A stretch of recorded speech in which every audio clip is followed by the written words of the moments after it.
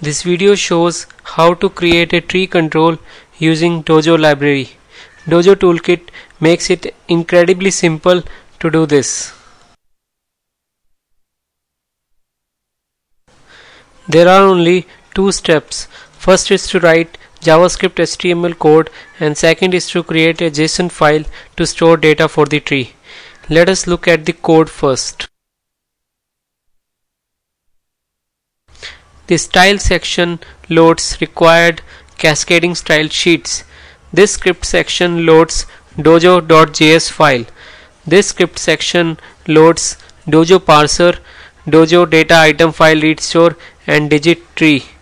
In the body section we first define item file read store and set its JS ID equal to data store string.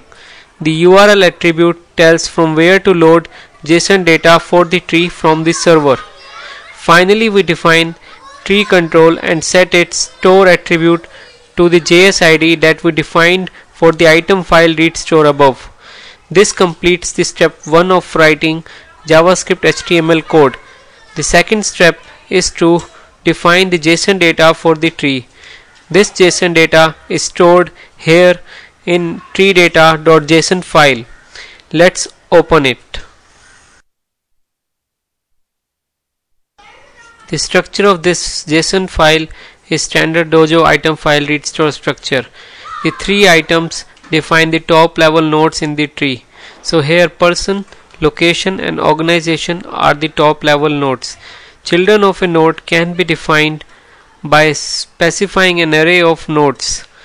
Let's add two children to the location node. We will add a children array to location node with two children nodes. Let the name of the children nodes be country and city.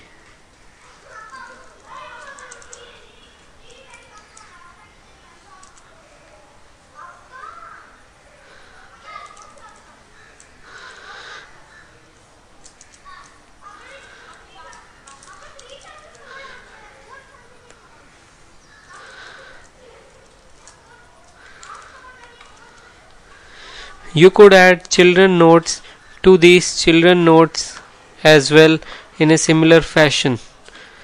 Let's reload our web page to see if these two nodes are added.